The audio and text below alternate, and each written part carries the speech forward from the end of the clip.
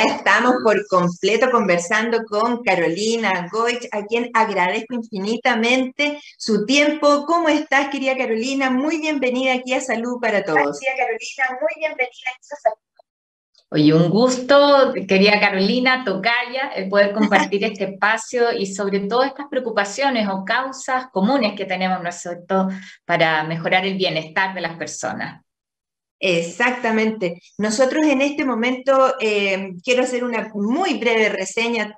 Carolina Goich Goroevich es una persona pública, ella ha dedicado su vida como trabajadora social y luego como magíster en economía a grandes temas de utilidad pública, ha dedicado su vida desde la región de Magallanes, en donde fue primero diputada, después senadora, luego candidata a la presidencia de la República. Así que es una persona que tiene talentos, pero innumerables para la comunicación humana y entre esas cosas me, me sorprendió mucho que tú hubieses estado, querida Carolina, en estas comisiones especiales de zonas extremas y también de grupos interparlamentarios, interculturales, hasta con China, eh, chileno helénico, chileno alemán, chileno suizo. ¿Tú, hablas todos esos idiomas?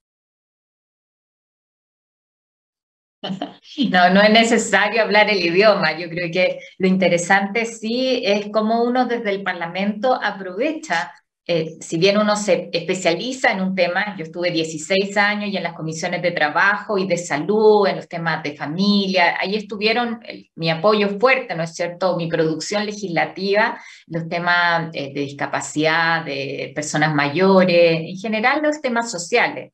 Pero uno también tiene una posibilidad de generar contactos, de gestionar otras cosas, hay una tarea de representación de la región que, que excede a una comisión en particular. Yo de verdad soy de las personas agradecidas con lo que pude hacer en el, en el Parlamento. Eh, dos periodos como diputada, tú bien lo señalas, un periodo de ocho años como senadora y, y bueno, más de 50 leyes de las que soy autora y que uno ve como en esa secuencia eh, han significado cambios importantes para la gente en salud, en todo el tema de conciliación de vida laboral y familiar. Y bueno, hoy día estoy muy contenta, quizás aprovechamos de comentarlo para quienes eh, nos están siguiendo. Estoy de académica en la Universidad Católica, en el Departamento de Oncología, muy contenta porque estamos trabajando en cáncer desde una mirada más interdisciplinaria. Ese es mi aporte como trabajadora social y como economista, y de alguna manera dando continuidad a esto de una construcción de una política pública desde la base, con la participación de todos los actores y enfrentando la principal causa de muerte en nuestro país.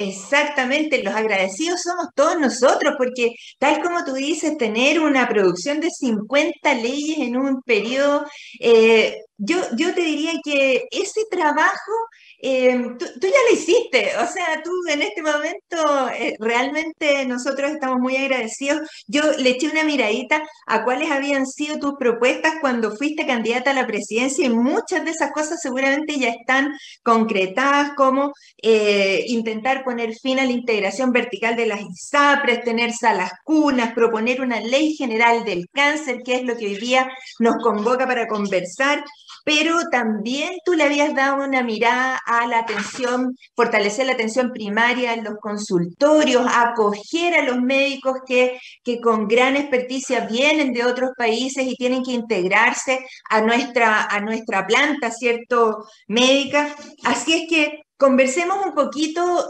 en, este primer bloque de aquello que fue tu legado legislativo durante ese tiempo. ¿Cuál dirías tú que, que, son las leyes que más, que más cariño, que más satisfacción te dieron eh, por haberlas logrado?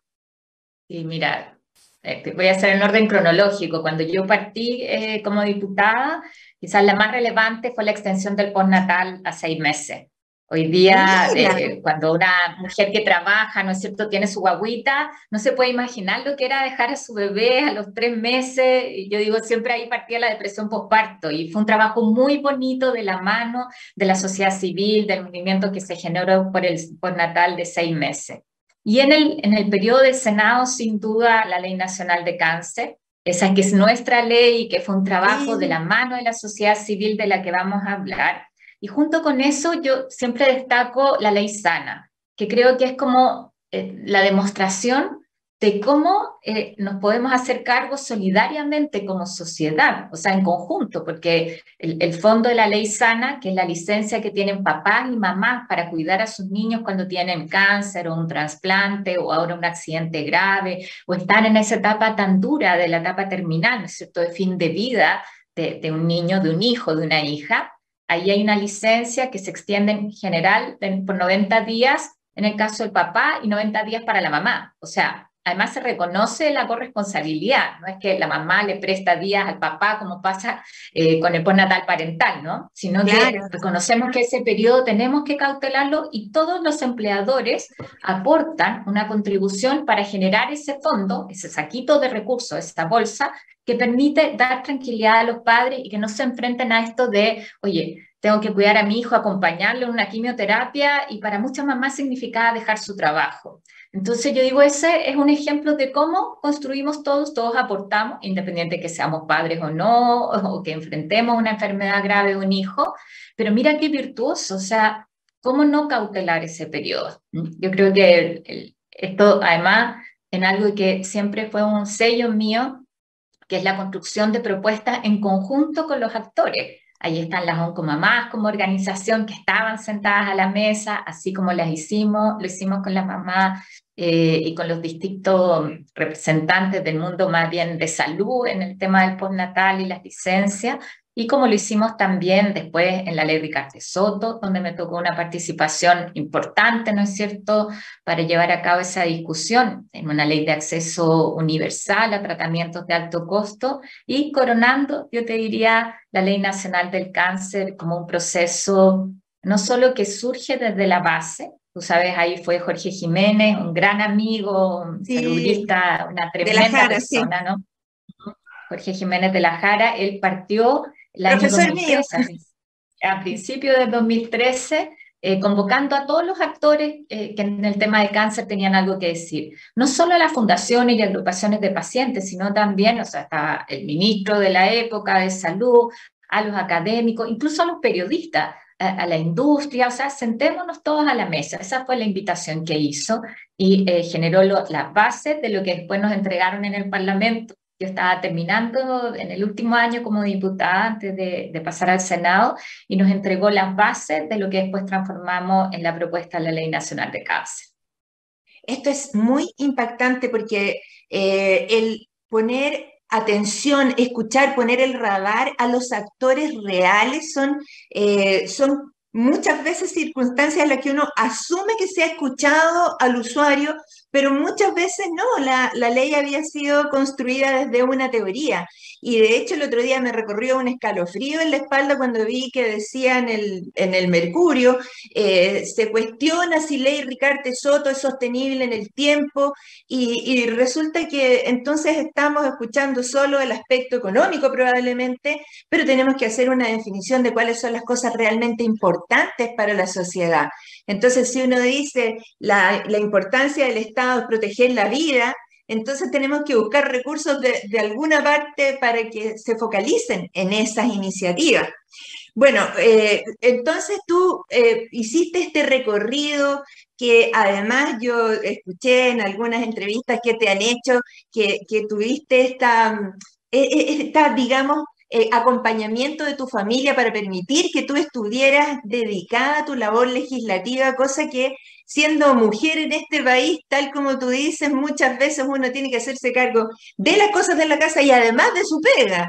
Entonces, en este momento tú eh, ya me contaste que ya culminaste tu periodo senatorial y ahora entraste de lleno a esta otra dimensión que es eh, dedicarte al centro de cáncer. Cuéntanos un poquito eh, cómo fue esa transición, cómo, cómo, cómo, cómo te viste cuando ya dejaste de ser legisladora, dejaste de ser senadora, cómo te reinventaste en, lo personal. Mira, yo decía a las personas siempre que eh, eh, para mí los cargos, o sea, que entiendo los cargos como una herramienta como algo transitorio. Y para hacer lo que a uno le gusta, o en, mi caso lo que me apasiona, que es trabajar por los demás y con los demás, eh, uno dice, no necesitas ser senadora, no necesitas el título, ¿no? Eh, y lo que he hecho es de alguna manera la continuidad de los mismos temas, pero ahora desde otra óptica, que es el, el mundo académico, que además es algo que me gusta mucho, volver a mi universidad, yo me formé en la Universidad Católica, tanto en, mi pregrado como en, ah, el, en el, en magíster en economía, que además es la, la, mención de evaluación socioeconómica de proyectos. O sea, lo que a mí me gusta es la construcción de políticas públicas y es lo que he hecho desde distintos espacios. Y de verdad, eh, así como fue un regalo el tener mi propia experiencia, ¿no es cierto?, con el cáncer, el poder encabezar después de eso la construcción de una política pública que es única, diría, en, cómo nos ordena los esfuerzos públicos y privados y nos permite dar un salto cualitativo en cómo abordamos nosotros el desafío del cáncer. También es un privilegio poder seguirla ahora no solo en lo académico, sino también en la, desde la Fundación del Foro Nacional del Cáncer, donde estoy eh, trabajando con Jorge Jiménez de la Jara y donde soy la directora ejecutiva. Oye, yo quiero, Carolina, después eh, me comprometo con un regalo, ¿ya? Después te lo voy a hacer llegar, que es este, el libro de la Ley Nacional de Cáncer. Gracias. cuando tú dices cómo uno se reinventa, también tiene que ver con cumplir hitos. Y algo que hicimos el año pasado fue presentar este libro que es un libro que está además de acceso abierto en mi página web, que es www.carolinagoich.cl, en la grilla de publicaciones, lo pueden bajar en PDF, es un material que cuenta el proceso de la elaboración de la ley, desde los actores, están los relatos de las agrupaciones de pacientes, de los, de los dirigentes, ahí, ¿no es cierto?, los representantes que participaron, eh, también eh, de cada una de las personas que estuvo, los distintos ministros. Yo reconozco al ministro Santelice, el ministro Enrique Páez en su momento, la firma por parte del presidente Piñera de la propuesta de ley, eh, y lo prologa el presidente de la República, Gabriel Boric.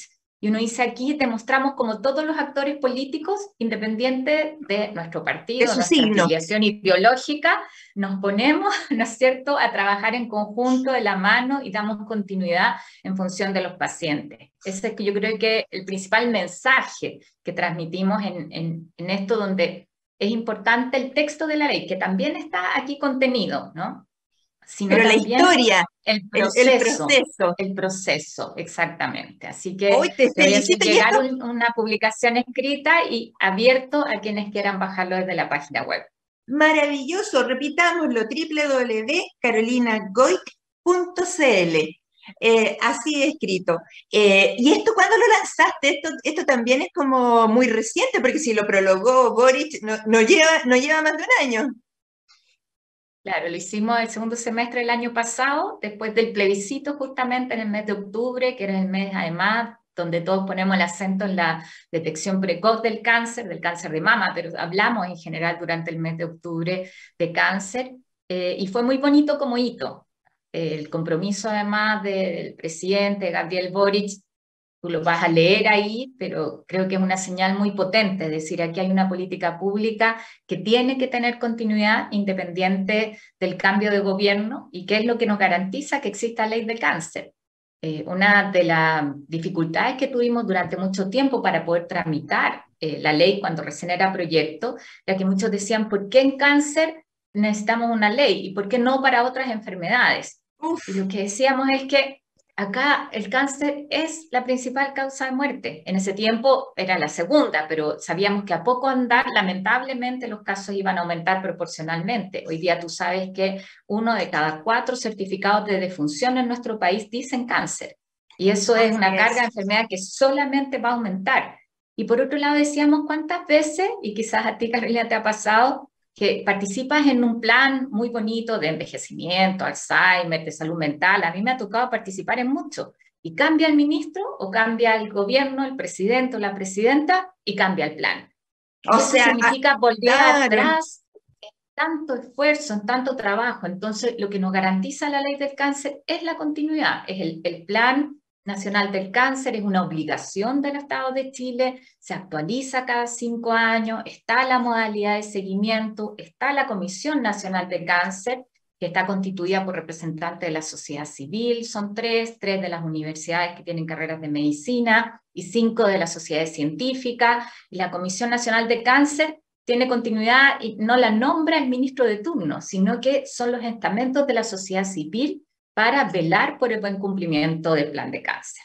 Maravilloso, estamos conversando con Carolina Goich, quien hoy está en el mundo académico, en el Centro de Cáncer y después nos va a contar en la segunda parte de nuestro programa, que es el foro en el que participa el Foro Nacional de Cáncer. Mira cómo se nos pasó el primer bloque volando de conversación.